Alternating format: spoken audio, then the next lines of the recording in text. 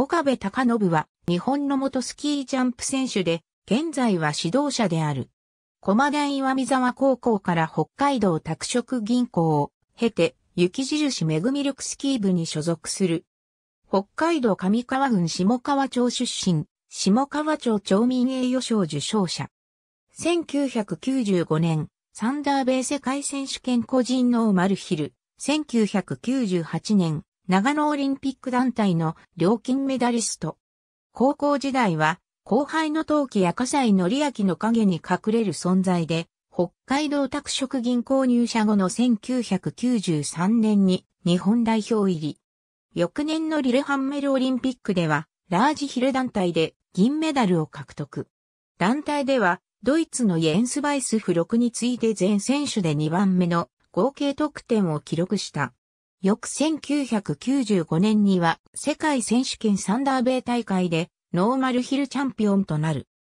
1998年長野オリンピックラージヒル団体では1回目では強い横風の中で K点を超え2回目では、バッケンレコードとなる137メートルの飛躍を見せ、日本の金メダル獲得に貢献した。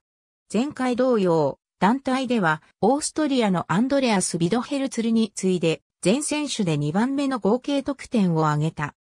その後は、ジャンプ競技のレギュレーション変更で苦戦し、一時は日本代表を落ちしたが、同じく低身長のアダム・マリシュのジャンプを参考にするなどして、以後は第一線の選手として活躍する。2009年3月10日には、スキージャンプワールドカップクオピオ大会で11シーズンぶりに優勝し、笠井則明の31歳7ヶ月の記録を大幅に更新する38歳4ヶ月と15日という史上最年長優勝記録を打ち立てた。また、世界選手権のジャンプ団体では2007年大会、2009年大会と日本の表彰台獲得に貢献し、日本ジャンプ陣を長年にわたって支え続けた。2010年バンクーバーオリンピックでは、日本選手団首相に就任するも、当年は前年とは、打って変わって、スランプに陥り、ノーマルヒル、ラージヒル、団体の3種目とも出場はならなかった。2013、14シーズン、国内開幕戦のナヨロピアシリジャンプ大会で優勝し、4シーズンぶりに海外 W 杯遠征メンバーに選出されるも、そこでは結果を残すことはできず、2014年ソチオリンピックの日本代表には選出されなかった。2014年3月、今シーズン限りでの引退を表明、同年4月より雪印めぐみルクのコーチに就任した。2019、20シーズン現在、男子ナショナルチームのコーチを務める2021年4月、雪印めぐみ力スキー部監督に就任する。学生時代に無名だった岡部が飛躍する一員として、1994年夏に導入された57%ルールへの驚異的な適用が挙げられる。57%ルールとは、スキー板と足を固定するビンディングの位置をスキー先端から57%以内の位置に取り付けなければならないというルールであった。空中での浮力の鍵となるのは、スキー板のビンディングより前の部分であるため、このルールが施行される以前は58%から60%の位置にビンディングをつける選手が多く、スキー板の浮力を受ける部分を短くされたことで、苦戦する選手が続出した。岡部は57%ルールに対応するためのテクニック変更にいち早く取り組んだ。深く腰を落とした助走路姿勢や、艦手を踏みつけるようなテイクオフなどの工夫を重ね、94年夏のサマーグランプリでは前線優勝という圧倒的な強さで総合優勝を手にしている。その一方で、岡部は1998年の長野オリンピック直後に施行された146%ルールによって最も不利な影響を受けた一人である。146%ルールとは、スキー板の長さを最大で身長の146%までとするというルールであり、このルールでは身長の高さに比例してスキー板が長くなる。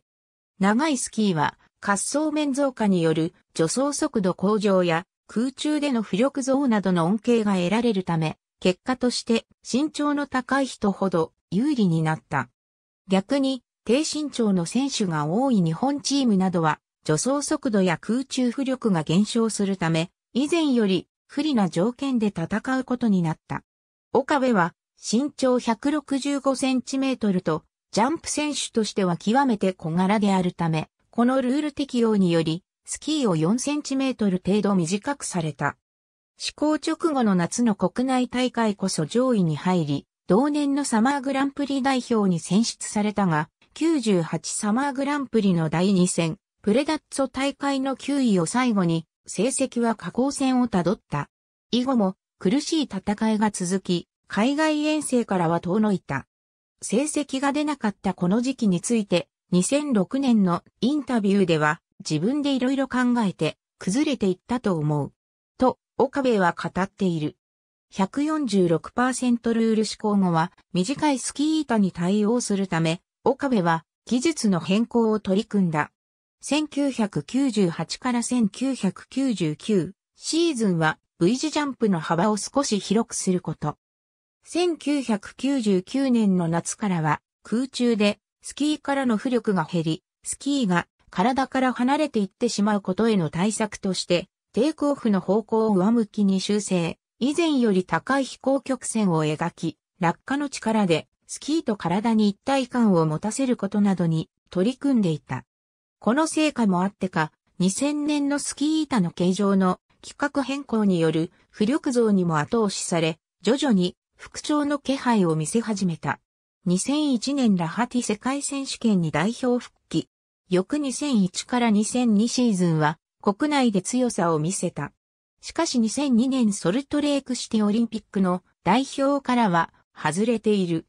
その後もなかなか海外遠征メンバーには選ばれなかったが、2004から2005シーズンにスキージャンプコンチネンタルカップで連続2位に入り、自力でワールドカップの舞台に復帰した。この年の世界選手権オーベルストドルフ大会の代表にも選出されている。